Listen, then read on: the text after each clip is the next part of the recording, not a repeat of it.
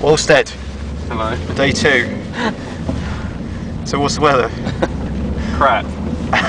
What are you most worried about? The wind, the rain, or the fact it's freezing cold? All of them.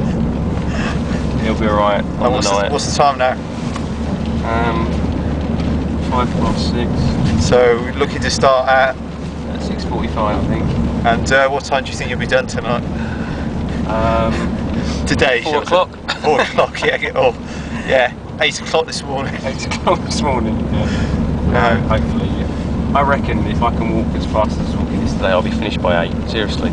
Hopefully. Yeah, this will motivate you, won't it? Yeah, we'll Bit see. of a Chris Speedy Speedman effort, maybe. If I get that far. Yeah. Just think of that song, things will only get better. or could only get better. Let's hope so.